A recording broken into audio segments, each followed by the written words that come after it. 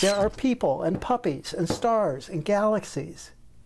How did all that come to be? It's the age old question where do we come from? How exactly was our planet formed? Now, thanks to a groundbreaking study, we have a better idea. So, we ran a set of high resolution cosmological simulations, which allow us to follow the formation of galaxies from early after the Big Bang and then all the way down to the present day. Dr. Daniel Angles-Alcazar and his team at Northwestern University used supercomputer simulations to explore the evolution of galaxies. What they discovered was amazing. It's a new phenomenon called intergalactic transfer. What we found out is that these galactic winds are actually connecting galaxies and are transferring a significant amount of material between galaxies, which was quite a surprising result for us. So all that material is ending up in the space between the galaxies where it can then be swept up by other galaxies.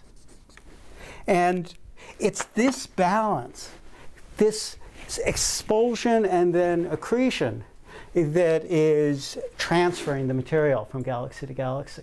Dr. Mordecai-Mark Mac Low is the curator of astrophysics at the American Museum of Natural History. What's remarkable about this study is that it showed that many of those stars weren't even in our own galaxy. In effect, our galaxy borrowed from other galaxies. Supernova explosions inside one galaxy transmits gas and material that end up in another galaxy. Galaxies don't grow apart from each other in isolation.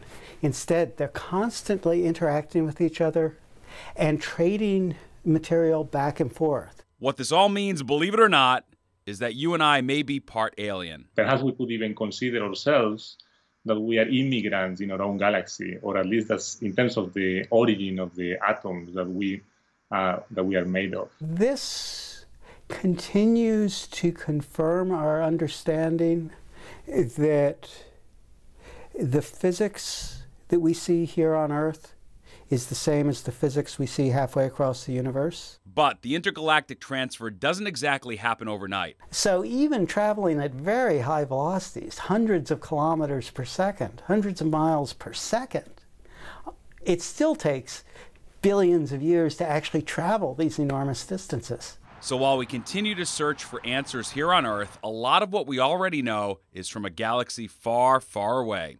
Steve Lacy, Fox 5 News.